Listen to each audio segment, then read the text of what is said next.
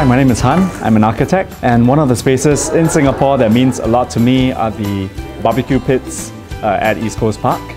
At various stages in your life, uh, you know, you would have spent some time at the East Coast Park uh, barbecue pits. It's really a space where you can sit down, watch people, watch the world go by, and it's a great way, I think, to spend a, a nice afternoon.